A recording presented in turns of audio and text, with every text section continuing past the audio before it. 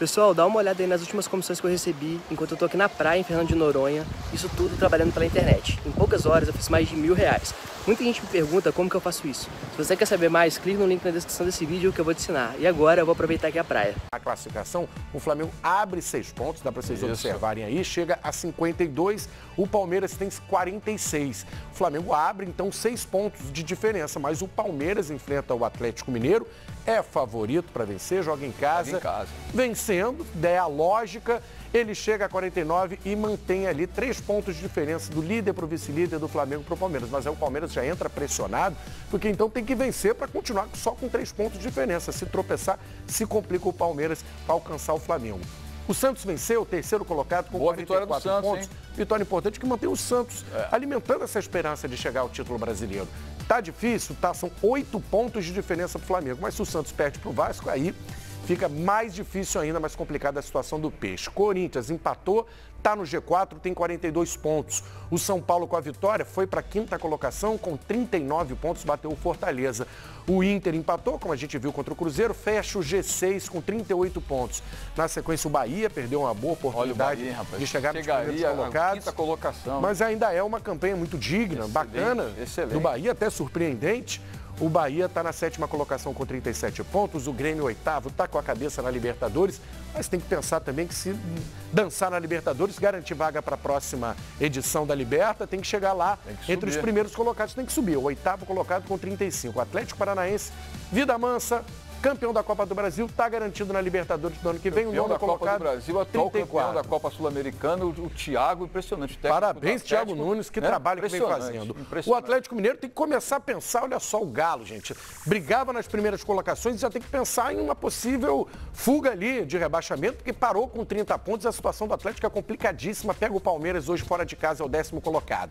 Vira a página, pessoal, para a gente ver a sequência da tabela. O Goiás com 30 pontos uma posição no momento confortável, mas o Galo se cochilar... São 10 pontos diferentes. É uma né? diferença grande, mas o problema é a fase do Atlético Mineiro que é. não consegue mais vencer. Goiás está com 30 pontos, é o 11 primeiro, conseguiu uma gordurinha, com bons resultados. Os principais lances, Ô Paulo Lima, sem o Gabigol, por mais que o Flamengo teve o domínio, o controle do jogo, criou diversas situações, mas aí fez a qualidade técnica de um Gabigol, de um Rascaeta, eu acho que fez é, falta na hora ali do arremate final. O Flamengo poderia ter vencido com mais tranquilidade se tivesse com a sua força máxima. Ah, isso aí é indiscutível, né, Vinique? Sem dúvida nenhuma que é indiscutível. A presença dos três jogadores que ficaram fora hoje, principalmente a, é, a, a boa participação, entrosamento. A Rascaeta Arrascaeta, Gabriel Barbosa, Bruno Henrique, Everton Ribeiro, nesse né, tripé de, de, de, atacantes com mais o apoio exatamente do Everton Ribeiro, nesse quadrado que funciona com muita eficiência,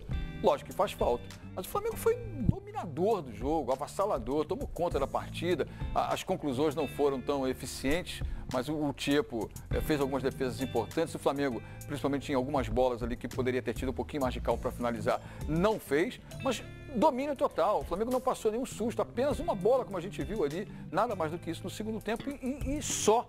A Chapecoense com muitos desfalques também, né? Uma situação delicada de jogadores de um pouquinho mais de qualidade com suspensão de cartão amarelo, outros tantos também no departamento médico. E o Marquinhos Santos tendo que colocar em campo uma equipe que pudesse enfrentar o líder do campeonato, o todo-poderoso Flamengo, o time que tem aí a supremacia nesse momento no Campeonato Brasileiro, com todos os melhores índices de aproveitamento, todos eles são do Flamengo em termos de artilharia, artilharia defesa, assistência, tudo o Flamengo sobra na competição. Era pensar e imaginar que o Flamengo sofreria? De jeito nenhum. E o resultado foi exatamente o que a gente viu. Domínio, oportunidades, um gol. Numa assistência do Vitinho e no gol do Bruno Henrique, o Vitinho que depois saiu do jogo, né?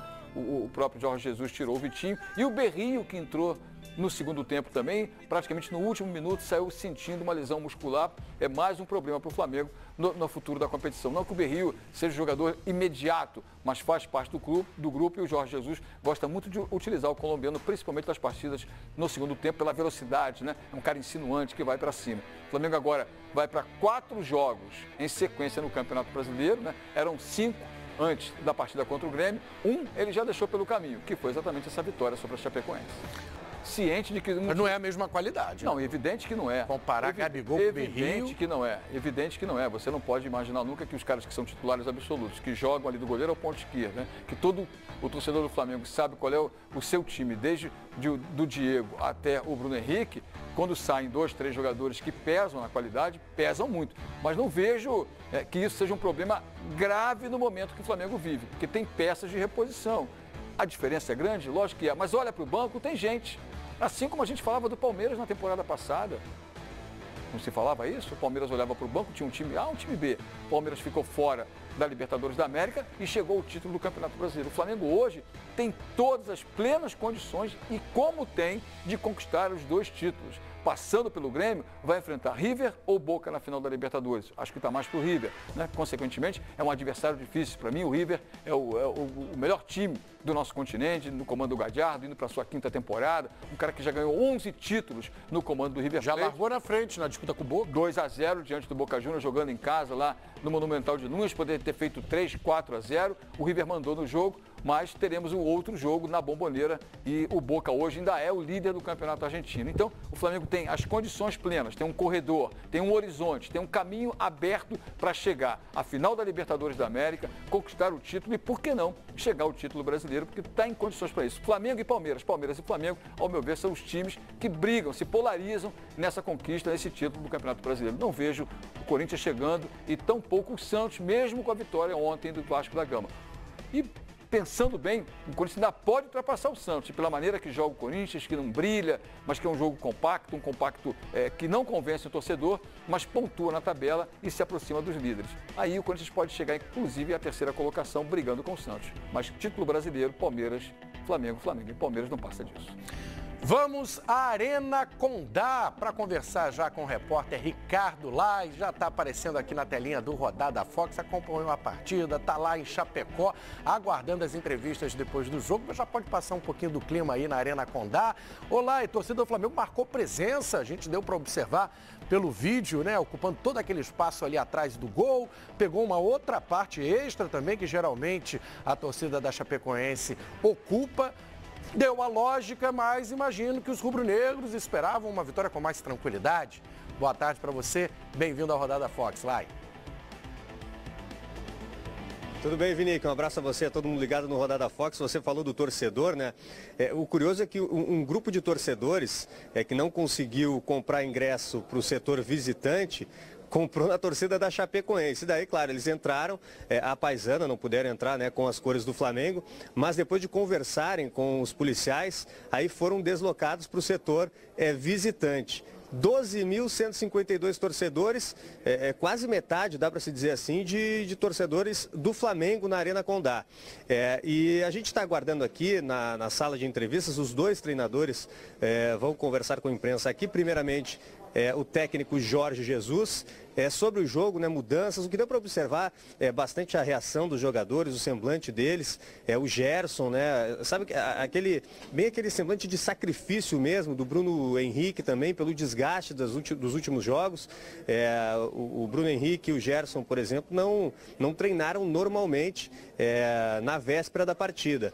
É, o campo pesado, choveu muito aqui em Chapecó, mas na hora da partida não, deu uma trégua à chuva e um dado também relevante, a, a lesão, é, ainda não dá para confirmar é, o que, que aconteceu é, com o Berril, mas ele foi substituído é, ao fim da partida. Ele entrou no segundo tempo, sentiu dores no pé direito, saiu inclusive ao vestiário sendo uh, ajudado pelos jogadores, não conseguia caminhar normalmente o, Berril. Então a gente daqui a pouco vai ter mais informações sobre a situação do colombiano. E também, claro, toda a repercussão dessa vitória do Flamengo, 10 jogos de invencibilidade, é, liderança, 52 pontos na competição. E um, um dado curioso, é, é a melhor campanha Uh, nos pontos corridos após 23 rodadas, superando inclusive a campanha do Cruzeiro, né, campeão naquele ano, e do Corinthians em 2017. verdade. Obrigado, Ricardo Lai. Daqui a pouco a gente volta para ver os treinadores. Boa colocação. É bem lembrado, né? Espetacular a rodada. É a melhor. É a melhor campanha. Isso que eu, eu, falei, o Flamengo é absoluto em tudo, em todos os, os números e estatísticas. Né? E essa é mais uma ah, para o brilhante trabalho que faz o Jorge Jesus no Flamengo. Né? Um trabalho que vem dando consistência, um trabalho que vem é, a, a, ajustando o time, colocando as peças que trabalham bem, que funcionam bem ajeitadinho no sistema tático. O Flamengo voa, o Flamengo atropela seus adversários com capacidade técnica, tática e, acima de tudo, com muito empenho dos jogadores que estão dentro de campo. O Flamengo é absoluto no Campeonato Brasileiro. Difícil ver o Flamengo fora do título esse ano. O Jorge Jesus, ele, ele, tem um pensamento diferente, por exemplo, do Renato Portaluppi e do Filipão do ano passado, que decretaram. São dois times que eu tenho no, no, elenco. Um time vai jogar Libertadores, o outro time vai jogar o Brasileiro. O Renato poupa todos os titulares quando está próximo de um compromisso pela Libertadores. Ontem não poupou, né? Ontem porque ainda tá tem longe, um, né? um, tá longe ainda, né? Só no dia 23 que as equipes voltam a se enfrentar, não teria motivos para poupar. O Jorge Jesus já pensa, eu vou com o que tem de melhor em qualquer jogo, eu quero ganhar também o título do brasileiro. Essa briga o Renato praticamente abdicou. Mas chega uma hora que ele tem que dar uma pausa ali num Bruno Henrique, o Berrio saiu machucado.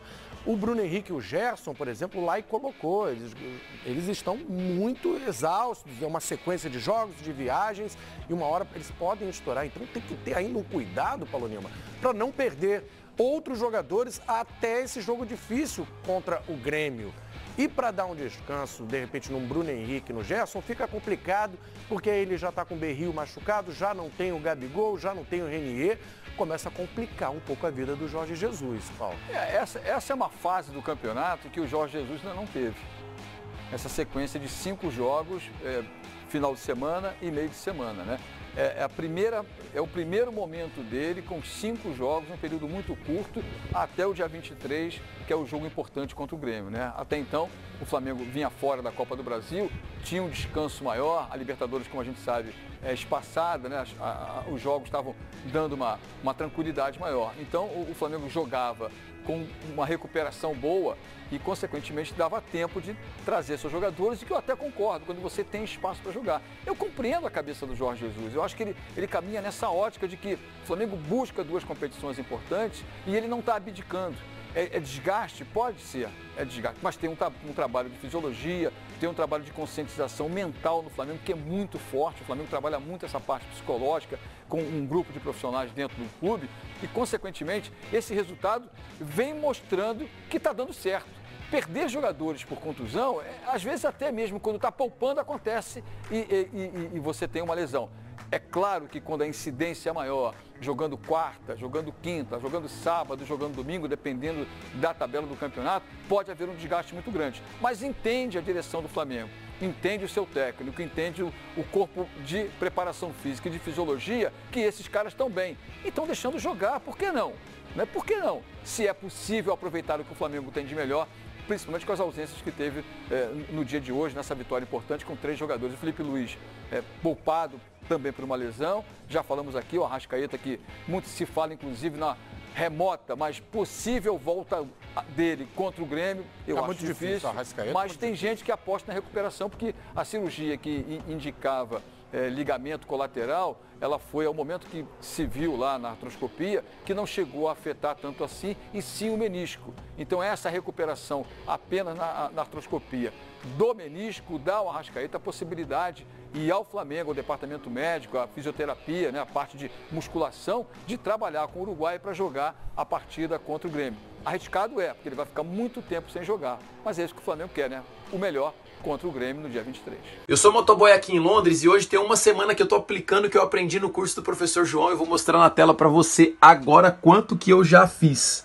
3.200 em uma semana, 537 só hoje de vendas e ontem 414. Professor João, Deus te abençoe, muito obrigado. E assim como esses, já ensinei milhares de pessoas a venderem todos os dias pela internet. Você quer aprender comigo e transformar sua vida? Então clica no link na descrição desse vídeo que eu vou te ensinar.